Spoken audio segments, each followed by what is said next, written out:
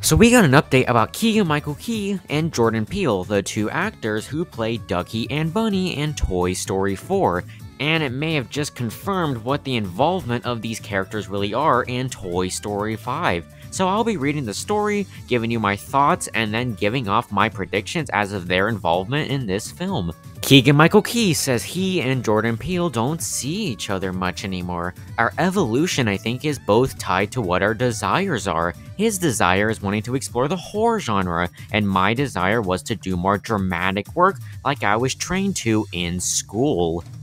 Now, before I really talk about the story here, please comment below whether you think these characters will be in the fifth film or not. That is the main question of today's video. Do you think Ducky and Bunny will be in Toy Story 5? Please comment that all down below, and please make sure to subscribe. Now, first off, I'm very happy for both of these guys. I mean, Jordan Peele has stopped acting for good, I think, and he has become a director. An amazing director of that. I've seen his movie Us and Nope, and I really love those movies, and I was actually on the set of Nope back in Universal Studios, and that was a lot of fun seeing that. And Keegan Michael Key, I have never seen him do dramatic roles before. He has always been an extremely comedic and hilarious actor, and the fact that he's going to do more dramatic roles, that gets me excited. But where does this come into play with Ducky and Bunny? Well, they said that they don't really see each other much anymore, and those two actors were the core of what made these two plushies so memorable in Toy Story 4. It was their banter and their fighting that made them so amazing, and plus the comedy too, because both these guys are hilarious. So if they aren't really seeing each other much anymore, and they have different paths in their lives in the future, then do I think Ducky and Bunny will be in Toy Story 5? Well, unfortunately, no. It feels like there's a lot of things that are gone from Toy Story 4 and Toy Story 5. Bo Peep doesn't seem to be here this time. From the concept art we have seen, Woody is somehow back in Bonnie's room, and now Ducky and Bunny will just be gone in this with no explanation. The only thing that really they carried from Toy Story 4 to Toy Story 5 was that Jessie still has Woody's badge. Woody still doesn't have a badge, and he definitely will not have his pull string, which will kind of make him have like a slight bit of a different look from the previous films.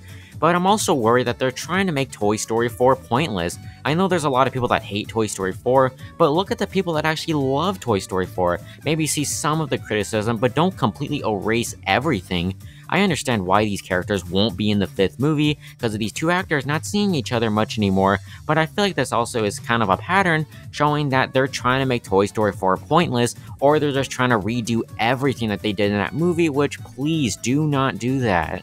So yeah, Ducky and Bunny will definitely not be in the fifth movie, which again will make me very sad because I would have loved to see these characters continue on their story. But how will they explain how they are just suddenly gone?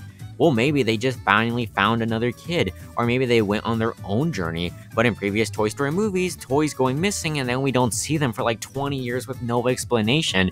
Maybe Keegan Michael Key and Jordan Peele come back for Toy Story 6, which I hope is not a real thing, but I feel like it is going to happen. Or maybe Ducky and Bunny just never come back to Toy Story at all, and they just kind of get forgotten, like again, the peas in a pod, or some of the other characters from the previous movies. Now, some of my other predictions is that I don't think Ducky and Bunny are the only characters that won't return. I actually don't think Duke Kaboom is going to return, and I don't think characters like Giggle McDimples may return either. I just feel like those actors may be too busy with other things, especially Keanu Reeves, who is doing Ballerina, and then he also has John Wick 5 as well, another fifth installment alongside Toy Story 5. Now, as someone that absolutely loves Toy Story 4, and people that absolutely hate Toy Story 4 will disagree with me on this, but please, not only do not erase everything from Toy Story 4, but at least keep some of the characters here still. If the actors can't come back, well, that's unfortunate and pretty sad, but I at least want an explanation of why these characters won't be in the movie. Don't erase everything from Toy Story 4 make Toy Story 5 feel like an epilogue to Toy Story 4, which Toy Story 4 felt like an epilogue to Toy Story 3. I mean, hopefully this is the last film of the franchise until they bust out Toy Story 6, which I think is going to happen. God, that sounds so crazy, but who knows? Maybe Pixar will call these two goobers and be like, hey, we want you to come back for this film, and maybe Ducky and Bunny will come back, but I think it's very unlikely at this point.